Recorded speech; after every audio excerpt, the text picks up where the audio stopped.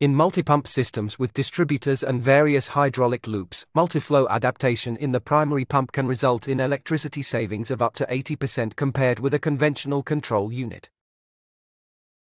Here we can see a distributor with an assumed design flow rate of 15 cubic meters per hour for the primary pump.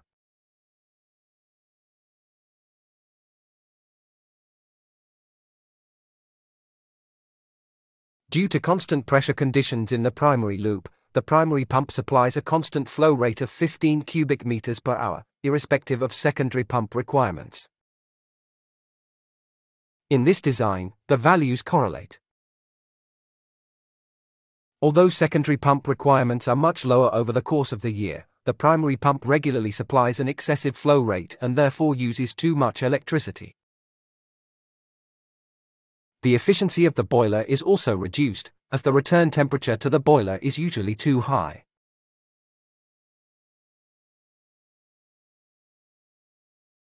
The primary pump is now connected to the secondary pump via bus cable, which allows the secondary pump to report its requirements on a regular basis.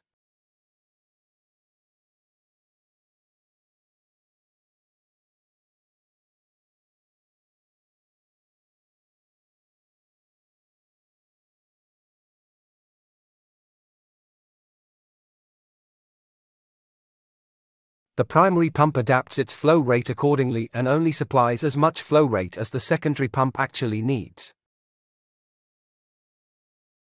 The return temperature is now lower, which has a positive impact on boiler efficiency.